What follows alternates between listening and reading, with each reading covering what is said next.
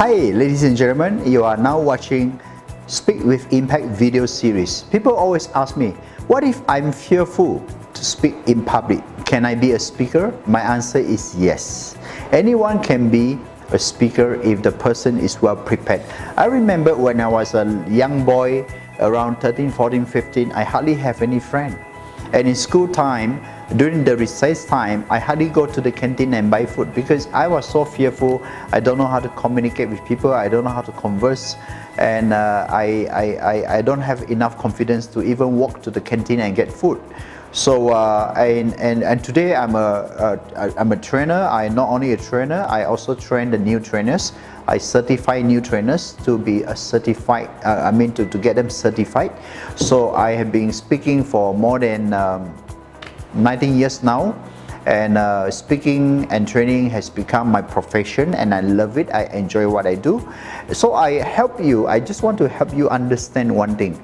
No one become a good speaker in the first year. Nobody. It takes time. It takes rehearsal.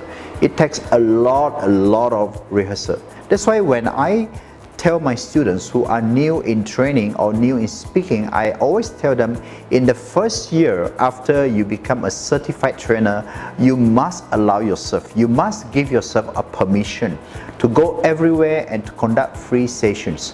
When you are conducting free sessions, people are welcome and uh, I mean uh, people will welcome you and people will feel uh, very happy to have you. And even though you may not be so good at that point, it's okay.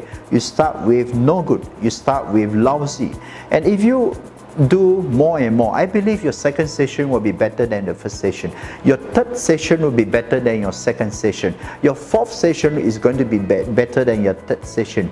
Your number 100 session is going to be better than your first session. So this is how you progress. This is how you grow. This is how you improvise, you innovate, and then you learn. So I would say that when you know you are not good and you have fear, continue to do your speech, do a lot of rehearsal, speak in front of mirror, speak in front of your family members, go to Toastmasters Club, deliver your speech there, and also offer your speaking, uh, uh, I mean, uh, your, your, your, your speech in a different platform.